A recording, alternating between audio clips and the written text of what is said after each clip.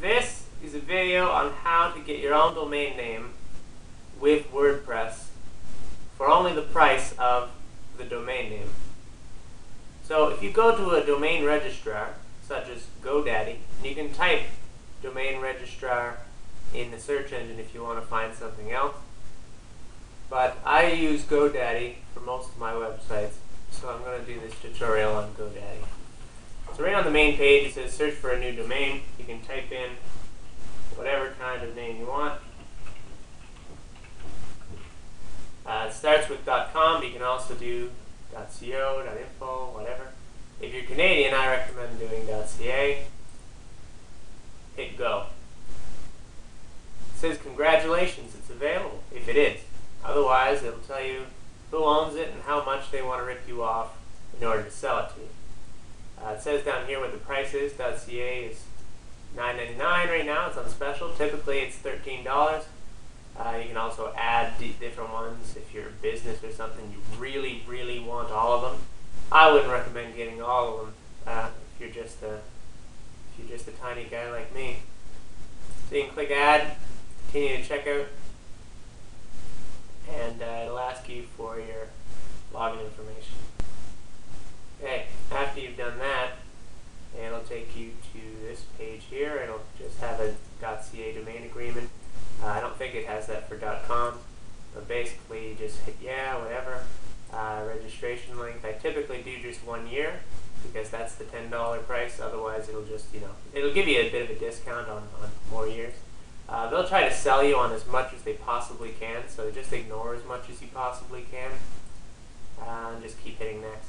And it'll eventually bring you to a page to the checkout option where you uh, type in your master, your your credit card or PayPal information and, and pay for it. Um, but I'm going to use my own domain name that I've already purchased here. So basically, um, this is where you can administer your domains. Uh, after you've logged in, you'll have to see my account at the top. You click on that and you come to this page. Uh, you can see all your domains after you hit domains. Um, so I'm going to use Bear News right here. So I'll click Launch.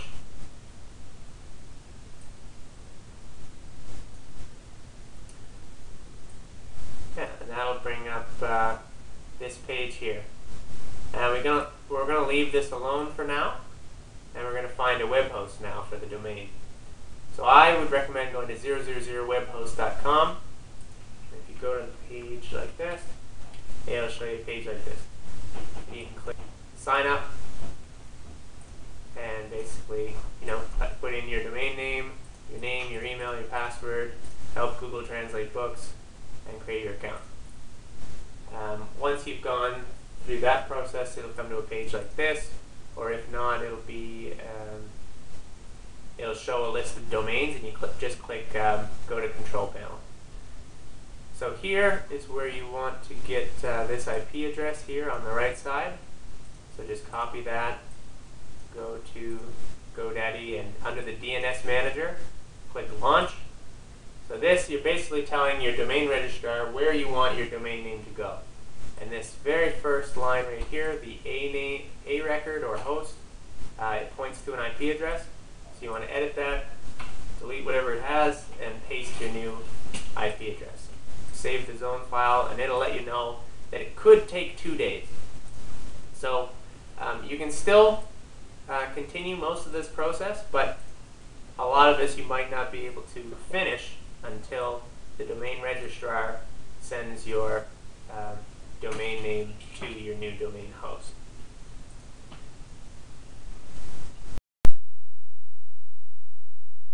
Okay, so to get WordPress, Typically, you can go down here to Software Services, click on Fantastico Auto Installer, and it'll show your uh, WordPress auto installation right here. Now, I don't. It, it's not working right now for 000 web host because they're upgrading it. But you can go to the home, WordPress homepage here and download WordPress. And if you're on a Mac, I think you have to download the .tar.gz. On a Windows, you can download the zip file. So that's downloading right there.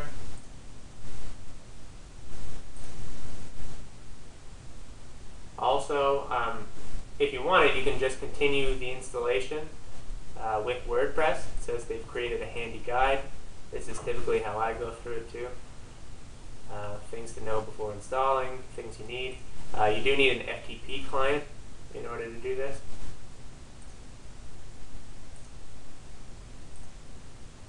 So you can click on the FTP client. I think they show you uh, different things that uh, you could get. Yeah, it says uh, how to use FileZilla. So you can click on FileZilla and download the FileZilla client. I think it'll recognize whether or not you're a Mac or Windows. So download the client. I already have it here. And again, yeah, you can go through the uh, Windows or the WordPress install, or you can just follow along here. So here is the folder that we just extracted. Um, what you want to do is go to wp config sample, change it to just read wp config, and then edit it. So here's the editor here. Uh, go back to 000webhost.com, uh, click go at the top or choose whichever domain name you're, you're editing and you want to create a database. Now, I've already created two databases, and that's my limit here, so I'm going to have to delete one. Oops. Delete. I'll delete both of them, I don't care. And create a database. I'll just type WP for WordPress and type a password. Create database and these are all your uh, this is this is your information for the text file you're editing on the left side. So WordPress wants to know what your database name is. So it says define database name, database name here. Uh, it says MySQL database. MySQL is the name of the database program. So MySQL database right here. Copy that without the quotes. Uh, define database user. Uh, MySQL user right here. Copy that without the quotes. Define database password. Uh, your password is right there. Define database host. Local host uh, could work on many different systems, but with this uh, site, you're going to need to copy the MySQL host. There you go. You can save that, and you're done with the text editor. So these files right here, this one you just edited, uh, these files, this makes up your WordPress site. So in FileZilla, this is how you connect to your site to transfer files. Open the Site Manager and create a new site. Uh, you can just name your site there. Um, your host, you're, you're going to want to get all this information from 000 Webhost 2. Domain name right there. That's going to be your host logon type normal, username right underneath your uh, domain name. Password is the one that you made when you when you signed up. But if you need it, you can just hit go again, change account password, and enter a new password. It's been uh, updated. It'll change in a few minutes, but actually it's probably changed already. Click connect, and you should see this. Um, now this part will only show up after your domain registrar has updated your uh, information. So you might not be able to log in right now. Uh, but once it has done that, typically in a couple hours to a day or so, uh, you'll see this. So don't upload anything here as this file shows. Uh, double click on public HTML and this isn't exactly what it's going to look like for you if you've just started a new account. But if you have any files, that's where it'll basically be. Now to install WordPress, you can go back to your WordPress files. Um, right now you could just copy these all over uh, into the blank white space here and it'll copy it into your public HTML. So that'll be your default page. So since my website is bearnews.org, if I type bearnews.org, it would just that'll just show up the WordPress site. Um, I've actually created a directory called WordPress uh, to put all my WordPress stuff, but you can also have whatever directory you want, portfolio, test, blog, anything you want. So I'm going to go in there.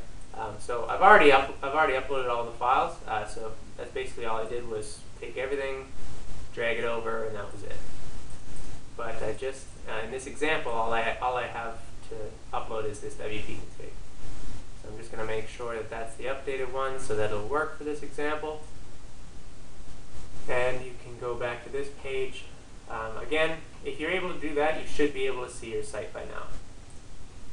WordPress installation page. So really, you've only transferred the files, but you haven't installed it yet. Uh, you can type in your site title, your username, if you want to change it from admin, doesn't matter. Uh, type in your password. Right, that's the weak one. Uh, type in your email. So I'll show you how to make an email account. If you go back to 000 web host, back control panel, um, go to manage email accounts, and you can type in whatever email account you want. I've already created a hello at bearnews.org, which is typically what a lot of websites do. Uh, again, it's just type the email and your password, hit create, and it's done. You can enter your web email here. Um, and you should be able to forward this to your Gmail, Yahoo, Hotmail accounts too. Uh, if you go to email forwarders, yeah, address to forward and forward to email. I think I can just uh, punch that in and forward to a different email. So I can go back here and if I wanted I could make the domain name email address my default email address. Or I could use my Gmail, Hotmail, or Yahoo, whatever. Uh, allow search engines to index this site means that uh, you're allowing Google, Bing, and Yahoo, and all the others to uh, display your website in search results.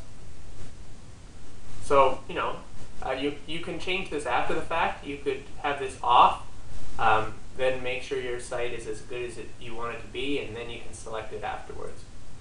Uh, I don't really care, so I'm just going to select it and install WordPress. And there you go, it says success. You can log in, save password if you want. But log in with uh, the information you just put in. You can hit remember me if you want, log in. Now from this point on, it's exactly like WordPress. There's a few other options, but basically this is um, what your WordPress account looks like. It's just now the difference is you have uh, your own domain account. And if you go to Appearance and Editor, you can edit some uh, you can edit some files that you wouldn't be able to um, in a basic WordPress.com site. So you can edit the style sheets. You can change um, different styles on a page, different backgrounds, different colors, different fonts, different everything. It's completely customizable at this point. Um, and you know, basically, you you might not want to start from scratch you might not want to edit the 2012 um, template, and you probably don't. Uh, you can see that 2012, by the way, if you click on themes. 2012 is a theme that's created by the WordPress team. They also created 2011. So those two are on there by default. Um, you can, these are also two that I've already downloaded. And if you wanted to install others, you can hit install themes. Uh, click on, you know, featured if you want to see different featured ones, newest ones, or if you want, you can search for one that you're looking for. So if you want to find a photography one, type photography, hit search, and these are different photography ones. This is one that I've downloaded already. Uh, all you do is hit the install now button and it'll install it and put it in your manage themes tab. Uh, if you want, you can upload one from a different site, and that's where I got this uh, elegant photography theme. Actually, I got it from vandelaydesign.com. Um, let's see, I think it's ManageWP. ManageWP.com. They have uh, a lot of WordPress free themes. Here I just went to top photography themes, and that's where I got the elephant elegant photography one. Uh, you can click on demo and see what it'll look like. Um, and this is what it'll look like after you've uploaded photos to this. It won't look like that for me because I don't actually have any photos. Um, but yeah, this is what the site could look like um, if you, you know, upload files and want to treat it like this. But this is the basic layout that this theme would give you. So if you go to Manage Themes, um, so I'll show you. I'll show you the two of them here. Uh, if I activate um, Minimatica, there it shows that at the top instead of 2012. You can hit customize. And there, it's showing just this because I only have, like I don't have, this is the only post that I have. It's probably the only post that you would have too if you just started. Uh, there's no image, but I can change that if I change the uh, featured image on that post. Uh, you can set the title. It's not automatically doing it. To change header text. And there you go, it's updated. Change colors. I'm not sure how much this is going to work with a theme. A little bit. A little bit. So you can customize some things with the theme. Yeah, I know, it's pretty disgusting. You can put a background image. You can change um, a static front page or uh, your latest post. Uh, I'm not sure, again, how that's going to look in a theme like this. Uh, but your latest posts will show all of your blog entries sort of thing. So this is a blog entry. This is the default one. Or you can have a static page which would just show, you know, whatever information, like welcome to my site sort of thing. So you can save and publish and close. Um, if you want to create new posts, I'm sure you already know how to do this if you've got a WordPress account of your own. Uh, pages. So pages um, would show up on the main on the main page if you click on menus here. You can create a new menu, and that's where this menu here would come from, home and uncategorized. And different theme options here, so you can change um, your home page to have a gallery or a blog. Again, gallery or blog, gallery or blog. And I think um, when you create a post here, so there's the only post I have. I'm going to add a new one. And I think you can change the format here to a gallery format or an image. So if you just want to show one image, uh, gallery is multiple images, I'd say. And that's that's this specific theme. So you can have a different theme. You go back to um, elegant photography theme. Activate that one. You can hit customize just to show. So it's it's changed quite a bit, but all the content is still there. This is my post. This was my title. Uh, this is the only real. Like I, I haven't defined the menu yet, but that's the menu. And these are different widgets here. You can delete all those. Um, but again, you can set all this stuff again. You can't set background, so that's a, a different thing for that theme. Um, but for this theme, you have uh, on the side it says slides and photographs and different theme options here. So you can change general settings, um, a favicon, so you change this little blank page you can see at the top. You can define your own image for the for uh, the title there uh, photographs. You can, I don't actually know what this would do, but you can uh, define galleries here. I assume slides is um, on the home page here. I think this is slides, and then this is a gallery. So you can update your own slides and photographs uh, in, in galleries or posts and pages, and I'm not sure what this would look like either. Yeah, they don't have the um, different templates on the side there in this one. But after you've activated a new theme, you can just refresh and your website will look totally different. I'll show you how to do widgets too. But I think that's in WordPress too. So widgets, search, recent posts, recent comments, uh, archives, categories, meta. Recent posts, recent comments, archives, categories, meta, search bar. So you can get rid of search bar or archives or meta, and it's automatically saved, I think. So just refresh, and yeah, they're all gone. And so that's uh, this particular theme. Again, you can download other ones. You can you can get them for free, or you can purchase them. But basically, this is how to get uh, your own WordPress site with your own domain for only the cost of a domain. So you paid you know ten dollars for a domain name, and you have uh, the WordPress uh, backend. So you can see this on uh, a mobile phone, a tablet, or a computer all the same because it's not using Flash. And again, it's very cheap. I mean, you're only paying for, the for the domain name. WordPress is free. 000 web host is free. And um, a lot of the themes are free too.